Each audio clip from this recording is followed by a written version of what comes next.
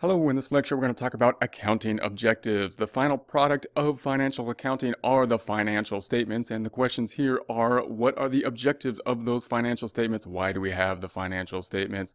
We usually answer this question in terms of external users, external users like creditors, like investors, like the IRS. That doesn't mean that internal users, don't have these same objectives, but internal users have more information and external users are more reliant on solely the financial statements for the information they need. Therefore, the financial statements are really geared towards those external users. We're going to look at an example here in terms of a bank, and we have our banker here, and we've got our business person here. And if the bank is thinking about giving a loan that the business person is asking for, they may ask for financial statements. And when we get the financial statements, our banker here might be asking the question first objective of uh, relevance. And that's the question, are these financial statements relevant to the decision-making process? Do the financial statements help me to make a decision as to whether we should give this business a loan? Of course, the bank wants to give a loan if they can because that's how they're going to make money on the interest on the loan. So they would like to make the loan, but they want, of course, make sure that the business owner can repay the loan. Do the financial statements give us some relevant information in order to do that?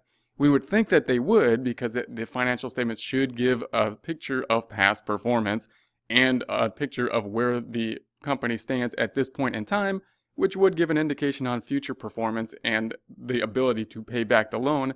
But there are some other objectives that we want to take a look at. Next objective, reliability. And we can see our banker asking the question here, can we trust these financial statements? We basically have pieces of paper here with numbers on them. Can we trust the numbers that are on this piece of paper? The banker can assure herself in a few different ways. They might ask for an external CPA audit or review, but they also are hoping to have some conformity with the financial statements in order to help with that reliability. And that leads into our last objective, which is the comparability we can, add, we can see our banker asking the question as to whether can I compare this information to prior periods and can I compare it to other companies in the industry and other companies outside the industry.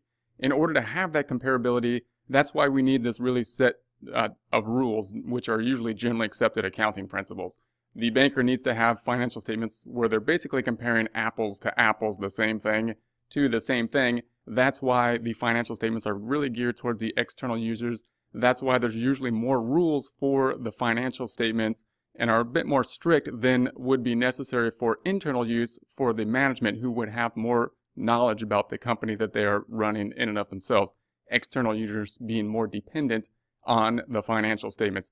So we've taken a look at our, object, our objectives, re relevance, reliability, and comparability in terms of our external user being the banker. We can also think of these same objectives in terms of other external users, including investors would be asking the similar questions, as well as the IRS in terms of taxes. The financial statements are basically taxes as well, another format of the financial statements.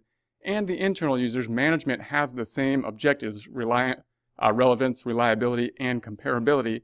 However, they also can change the information have more intimate knowledge. That's usually the starting point for the management as well, but they may put the data in different formats in order to answer internal types of questions as well.